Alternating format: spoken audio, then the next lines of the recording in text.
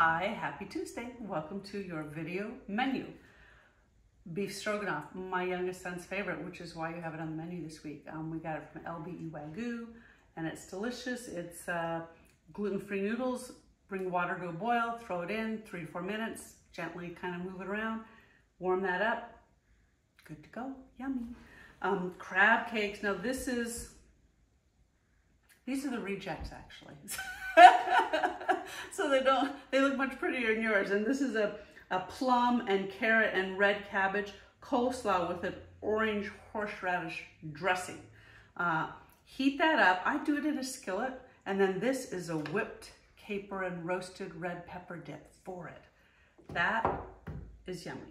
Um, this is one of my favorite meals. It's just a sheet pan bake. It's got feta and heirloom tomatoes and lemon and Kalamata olives and chickpeas and collard greens. Throw the whole thing on a sheet pan or throw it in the oven just like that and reheat it and, and, and enjoy it. It's uh, I'm going to eat it tonight. Um, the black bean burgers.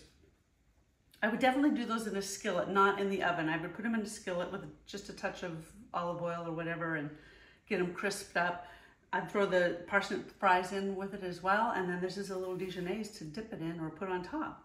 Um, back here, black quinoa with roasted turnips, grapes, and local greens.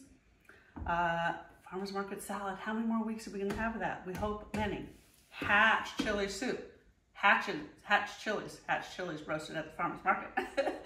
they are delicious. Some of them were a little kicky, a little uh, maybe on the spicy side but I don't think the soup is overall, with local fresh corn that we roasted. Root veggie minestrone. So it's got every root vegetable you can think of in a minestrone with some chickpeas. Bring it to temp, and I think you'll enjoy it.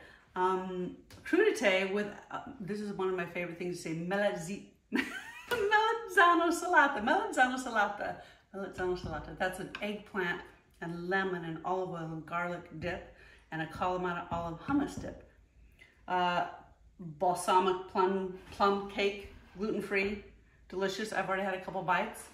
Um, the star of the week, if you didn't get it, the whipped ricotta with local honey, fresh sage, with grilled figs and some honey drizzle on top.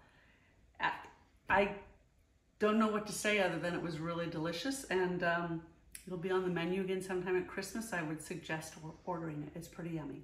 I think we got it all. Thank you so much for letting us nourish you. Have a great day.